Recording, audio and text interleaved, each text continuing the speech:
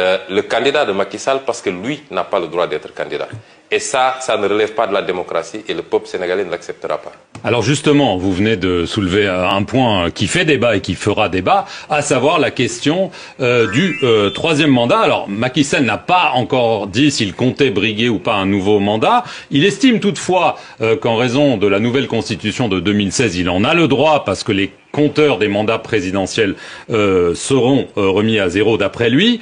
On entend certains de ses proches l'encourager à y aller. Alors, euh, d'une part, en a-t-il le droit d'après vous? Et si il y va, Qu'est-ce que vous allez faire? On, on, voit que vous demandez des manifestations, des concerts de casseroles. Est-ce que vous seriez peut-être tenté par une stratégie de déstabilisation si jamais il saute le pas? Vous savez, le seul fait que ce débat se pose encore au Sénégal euh, n'honore pas ce pays et n'honore pas le président Macky Sall. N'oubliez pas qu'en 2012, c'est le président Macky Sall qui était à la pointe de la contestation contre la troisième candidature du président Ablaye Au point d'être dans les manifestations à la place de la nation, muni d'un petit matelas et se disant prêt même à y passer les nuits s'il le faut. Pensez-vous que moralement, un homme qui a eu cette position, cette posture et qui a mené ce combat-là, puisse se retrouver 12 ans plus tard dans la même situation où c'est la place, sa place qui a changé, c'est lui aujourd'hui qui veut forcer une troisième candidature. C'est une honte pour le Sénégal, c'est une honte pour l'Afrique que ce genre de débat ne se pose que chez nous. Quand on a gouverné, de la manière dont il a gouverné, avec des scandales à l'appel impliquant ses proches, ses beaux-frères, ses frères, ses parents, tous ces gens qu'il a mêlés à sa gouvernance. Quand on a gouverné par la brimade, en instrumentalisant la justice, en libérant les forces de défense et de sécurité sur les gens, quand on a gouverné de cette manière, on a toujours peur des lendemains. Mais sur le plan juridique, tous les constitutionnalistes sénégalais, vous voyez que chaque jour ou chaque semaine, il y a des panels. Je n'ai pas encore vu un constitutionnaliste qui dise le contraire. La question de la durée des mandats n'a rien à voir avec la question de la limitation des mandats. Et nul ne peut faire deux mandats consécutifs. Cette phrase qui figure dans l'article 27 de la Constitution, qui figure dans l'article 27 de la Constitution a résumé la question. Qu'est-ce qui va se faire? Cela relèvera du peuple sénégalais. Vous savez, ce n'est pas une question de Ousmane Sonko ou de X ou de Y. La preuve, s'il y a une question qui fait consensus entre l'écrasante majorité du peuple sénégalais la société civile sénégalaise, les acteurs politiques de l'opposition et même des acteurs politiques du pouvoir parce que de plus en plus des voix s'élèvent dans le pouvoir. On a même des démissionnaires qui disent rendre le, tablier parce qu'ils ne peuvent pas admettre ce débat sur le troisième mandat. Le moment venu, le peuple sénégalais, qui est un grand peuple, qui a montré dans le passé son attachement à la démocratie, mais son attachement au respect d'un certain nombre de principes, ce peuple-là aura son mot à dire. Monsieur Sonko, lors de votre candidature euh, officielle, hein, c'était au mois d'août dernier, vous avez accusé Macky Sall de susciter des dossiers de terrorisme, de rébellion, de viol imaginaire, fabriqués avec le soutien de la France. Euh, la France aurait donc participé à un complot contre vous? C'est grave ça comme accusation Ce que je veux dire, c'est qu'aujourd'hui, il y a un comportement pourquoi on l'avait dit justement C'était que parce que vous, en tout cas un de vos organes, en l'occurrence France 24, euh, RFI, s'était euh, déplacé à Dakar pour faire un reportage tendancieux contre ma personne en essayant d'exploiter ce dossier de viol. Et de manière totalement partielle. Et aujourd'hui, lors des dernières discussions, en tout cas, qu'on a, a, des échanges qu'on a eu hier avec des responsables de RFI, eux-mêmes reconnaissent cette, euh, ce, ce, traitement tendancieux. Et au-delà de RFI, qui aujourd'hui est une chaîne française, il y a un certain nombre d'actes que la France pose qui nous fait penser, nous, opposition, de manière générale, que la France prend fait et cause pour Macky Sall pour des raisons qui lui sont propres. Et sur ces problématiques-là, nous voulons appeler la France à revoir sa position. On a été dépeint comme étant des anti-français notoires. Nous n'avons rien contre la France ni contre aucun autre pays. Nous avons un discours qui peut gêner parce que c'est un discours qui appelle à une rupture dans les relations. Il y a des traditions séculaires entre le Sénégal et la France. Mais il y a que ces traditions sont assises également sur des relations qui ne sont pas totalement roses pour le Sénégal. Nous sommes au XXIe siècle, le monde est en train de changer, je l'ai dit tantôt. La carte géopolitique du monde doit appeler chacun à revoir son attitude. Il ne s'agit plus de placer un président, de lui apporter un total soutien, tant qu'il accepte la coopération telle que vous, la voulez ou telle que vous l'entendez. Nos pays aspirent à autre chose et nous voulons continuer des partenariats, mais dans le sens d'un partenariat gagnant-gagnant. Et ça appelle à une révision d'un certain nombre d'axes, au niveau économique surtout, mais également à beaucoup, sur beaucoup d'autres plans.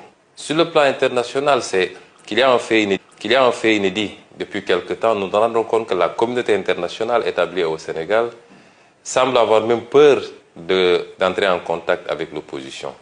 Et à chaque fois que c'est programmé, que ce soit l'Union européenne ou tous les autres, euh, les, autres, toutes les autres instances de la communauté internationale, c'est déprogrammé à la dernière minute. Et on nous dit que ce, serait un, veto du président Macky Sall. Et nous voulons dire à cette communauté internationale que le... Messieurs, j'espère que vous allez bien, j'espère que vous avez passé une excellente nuit de samedi. Alors, avant tout d'abord, euh, que la paix de l'éternel soit avec et sur vous. Et bon début de week-end, cher monsieur. Vous savez, après une semaine de travail, de routine, on est épuisé, on a envie de se reposer. Bref, que la paix de l'éternel soit avec vous. Cher monsieur, chère dame, chère demoiselle, nous sommes en Afrique aujourd'hui.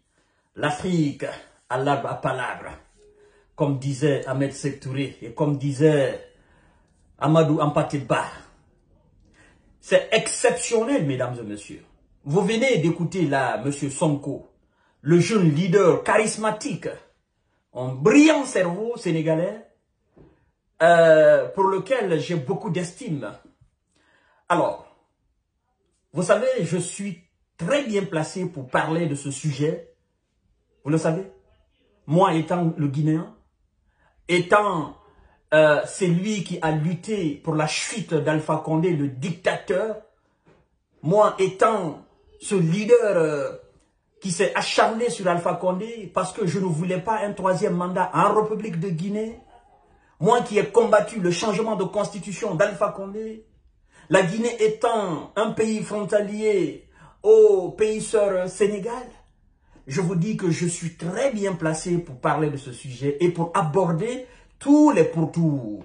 Chers monsieur, chères dames, chères demoiselles, laissez-moi vous dire d'abord que bas les troisièmes mandats en Afrique, les quatrièmes mandats en Afrique, bas la providence, bas la continuité des mandats interminables en Afrique. La jeune génération, cette jeune génération veut la renaissance, veut du renouveau, veut le nouveau africain. Et nous allons créer ce nouveau africain. Maki, Maki Sall, Nangadef. Monsieur le Président, avec toute la considération que j'ai pour vous et votre brillant cerveau, avec toute la considération que j'ai pour vous en tant qu'un aîné, je crois que vous n'avez pas droit à l'erreur. Vous qui avez combattu Watt, on se rappelle très bien. Vous qui êtes sorti même dans les rues, on se rappelle très bien, Monsieur Macky Sall. Macky Sall. Il faut être maquis propre maintenant. Parce que nous n'allons pas accepter ce maquisme. Nous avons combattu le, le condéisme en Guinée. Nous allons combattre le maquisme au Sénégal. Nous sommes la nouvelle génération. Nous aussi, nous avons besoin, nous avons envie d'être président du Sénégal, d'être président en Guinée, d'être président au Burkina, d'être président au Cameroun, d'être président au Congo. Nous sommes la jeune génération. Ofoy Boigny nous a dit de ne pas complexer. Il nous a dit que notre, notre histoire coloniale ne doit pas être un fatalisme. Il dit, les jeunes générations ne soient pas complexées. Je viendrai faire une émission là-dessus. Monsieur Maki, il faut comprendre que la nouvelle génération d'aujourd'hui, c'est pas une génération complexée, c'est une génération totalement libre et décomplexée. Vous nous avez instruits, vous nous avez éduqués, vous nous avez dorlotés, vous nous avez enseigné la science, le droit, Parmi nous, il y a des professionnels. Parmi nous, il y a des patriotes. Parmi nous, il y a des intègres. Ce que vous pouvez faire, nous pouvons faire le triple de cela. Et ce que vous avez déjà fait en tant que président pendant les deux mandats, nous pouvons faire le triple de ça. Sonko peut faire le triple de ça. Un autre Sénégalais peut faire le triple de ça. Monsieur Maki, il ne faut pas gâcher tout le travail que vous avez effectué pour le Sénégal. N'appelez pas à la violence. Maki, n'appelez pas à la manifestation. Je sais ce que ça veut dire, les manifestations, parce que j'en ai vécu en Guinée. Vous connaissez d'ailleurs l'histoire de la Guinée. L'histoire de la Guinée, Monsieur Maki, vous le connaissez bien. Le peuple frère Sénégal est conscient de l'histoire de la Guinée en termes de manifestation. Monsieur Macky Sall, vous avez bien travaillé au Sénégal. Nous vous prions de ne pas nous jeter dans cette violence de manifestation contre une éventuelle troisième mandat, s'il vous plaît. Nous savons que vous êtes un croyant. Mais croyez aussi en la capacité de la jeune génération à relever le défi. Vous pouvez y aller. Vous savez, il n'y a pas d'homme providentiel, il n'y a pas d'homme irremplaçable, M. Macky Sall. Il faut comprendre tout simplement que si vous êtes quelqu'un de bien, si vous avez de bonnes idéologies, nous avons besoin de l'idéologie, nous n'avons pas besoin de la continuité d'une personne. Nous avons besoin de la continuité d'un idéal. Monsieur Macky Sall, vous avez déjà enseigné le maquisme aux Sénégalais. Alors si c'est une bonne chose, moi je vous dirais tout simplement de prendre repos et de laisser la jeune génération exploiter largement ce maquisme afin de continuer le processus de développement du Sénégal. Monsieur Macky Sall, ne soyez pas comme un, un Ali Bongo, ne soyez pas comme un, Paul Biya, je viendrai là-dessus. Monsieur Macky Sall, ne tentez pas l'irréparable, ne tentez pas la violence s'il vous plaît. Vous avez vu l'exemple d'Alpha Condé? C'est vous, d'ailleurs qui étiez censé être les, intercesseurs auprès d'Alpha Condé pour ne pas qu'il fasse le troisième mandat. Alors, s'il vous plaît, ne soyez pas animés par cette envie de vous, de, prendre le pouvoir en otage au Sénégal. Parce que les enfants ne vont pas accepter cela. Parce que c'est aller directement en contradiction avec vous, votre propre lutte contre M. Wad, Abdoulaye Wad. Accepterez-vous de donner raison à Abdoulaye Wad Parce que lui aussi, il avait tenté, mais vous, vous l'avez combattu. C'est de l'humiliation. Vous êtes un grand homme, monsieur Maki. Moi, je vais enlever sale, je vais mettre Maki propre. Donc, nous allons essayer d'exploiter largement le maquisme dans la propriété. J'enlève le sale. Pour ne pas qu'on dise Maki sale désormais. Moi, je dis désormais Maki propre. Son Excellence le Président, s'il vous plaît, nous vous prions. Nous avons besoin de la tranquillité autour de nous. Vous avez compris? Nous n'avons pas besoin de la violence. Nous n'avons pas besoin des manifestations, c'est-à-dire interminables. Parce que le peuple sénégalais que je connais, ce peuple soudé que je connais, le peuple sénégalais ne va pas accepter. Parce que, vous savez, nous autres, on est jaloux du Sénégal. Ça, il faut que je vous le dise, hein. il faut que je vous le dise. Nous autres, on est jaloux du Sénégal. Les pays limitrophes du Sénégal sont jaloux du Sénégal. Pourquoi? Nous sommes jaloux de l'histoire politique du Sénégal. Parce qu'au Sénégal, on se dit, nous quand on s'assoit, on se dit, les militaires sont venus au pouvoir en Guinée plusieurs fois. Au Sénégal, ce sont des civils qui viennent, malgré il les tensions, machin, mais ce sont les civils qui viennent. Il y a un processus au moins de développement au Sénégal, euh, c'est de l'émergence. Euh, vraiment, le Sénégal doit servir euh, d'exemple dans l'Afrique de l'Ouest. Voilà, nous sommes jaloux. Alors, ne venez pas mettre du feu à cela, M. Maki, parce que nous n'allons pas accepter. Le peuple sénégalais, nous n'allons pas accepter. Le peuple guinéen qui a combattu le troisième mandat d'Alpha Condé, nous n'allons pas accepter. S'il vous plaît, M. Maki, s'il vous plaît, ne tentez pas l'irréparable, s'il vous plaît, je vous en prie. Parce que ce que vous avez construit là, quand les manifestations vont commencer, les gens vont saccager. Et puis celui qui viendra après vous, il va recommencer encore à zéro. Vous avez compris? Vous avez pris l'argent du, du, contribuable sénégalais. Vous avez, fait, vous avez fait quelques infrastructures. Vous avez construit des choses, des immeubles machins. Vous avez fait des travaux au Sénégal. Mais vous n'êtes pas sans savoir que vouloir forcer un troisième mandat, les gens vont se révolter. Dans les rues, les gens vont se mettre à casser ce que vous avez construit. Moi, je pense qu'on doit maintenant être intelligent. Les manifestations en France sont très différentes des manifestations en Afrique. Vous le savez parfaitement, M. Maki. S'il vous plaît, ne brisez pas la carrière de ce jeune, de ce jeune cerveau.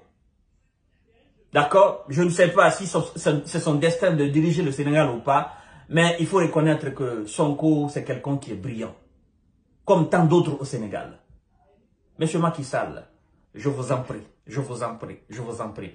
Nous avons besoin de la tranquillité. Vous voyez, pendant que ça chauffe dans le monde entier, il y a des gens, ce n'est pas leur problème. Comme je disais hier, eux, leur problème, c'est le fauteuil présidentiel. Vous comprenez?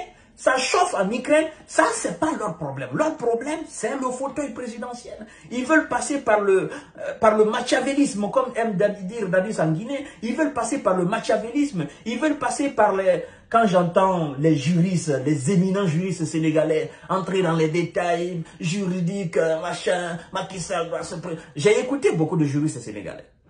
Mais je me dis c'est une question de morale. Il ne faut pas que nous soyons des mauvais élèves. La nomenclature de nos différents pays francophones est faite à l'image de la nomenclature française.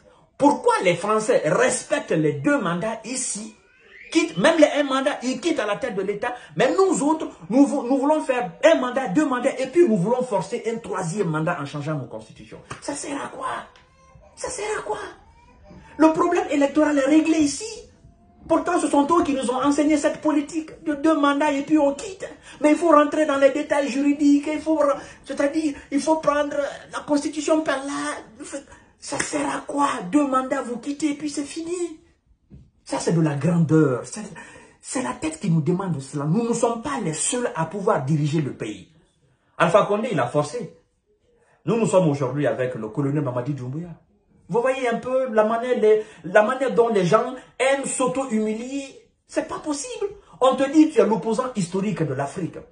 Tu viens à la tête de la République de Guinée, et puis tu fais un mandat, deux mandats, et puis tu veux, c'est toi qui veux changer la constitution pour faire un troisième mandat.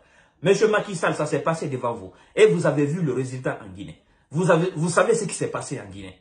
Parce que vous n'avez pas les yeux fermés. Vous savez ce qui s'est passé en Guinée. Et Alpha Condé lui-même est allé fermer la frontière guinéo-sénégalaise. Pourquoi? Parce qu'il a pensé que oh non, les gens voulaient euh, attaquer la Guinée par le Sénégal. Tout ça c'était des politiques. Et le peuple n'en voulait pas. Finalement, il a chuté. Monsieur Macky Sall, s'il vous plaît, s'il vous plaît, deux mandats, ça suffit. Le peuple sénégalais n'en veut pas. Ne faites pas de forcing. Les gens à côté de vous vous diront, vous pouvez le faire, oui, Sonko, machin, les autres politiciens, on peut les emprisonner, on peut les faire comme ça, on peut les couler des procès, machin. C'est pas bon pour votre dignité, M. Macky Sall. Vous avez combattu Watt. N'oubliez pas cela. Surtout ça, ce geste-là, le combat que vous avez mené contre Watt, contre son troisième mandat, vous avez, n'oubliez pas cela, c'est très important. Cher monsieur, chère dame, partagez largement cette vidéo pour toute l'Afrique entière et pour, tout, pour toute l'humanité. Nous ne voulons plus de troisième mandat en Afrique. Nous sommes en train de combattre les dictateurs. Les Paul Biya, il faut qu'ils partent. Ça, c'est sûr. On ne peut pas rester au pouvoir jusqu'à sa mort. Mais ça, c'est des choses qui sont, sincèrement, euh, moi, je comprends même pas quoi. Je comprends pas. C'est pourquoi, souvent, nos dirigeants africains, ils m'énervent. Donc, mesdames et messieurs, dispatchez largement la vidéo, activez la cloche de notification pour ne plus rater les vidéos de Fama Kanté. Abonnez-vous. Monsieur Macky Sall, je crois que vous avez compris. Évitez la violence au Sénégal. Merci beaucoup. Je vous aime et bon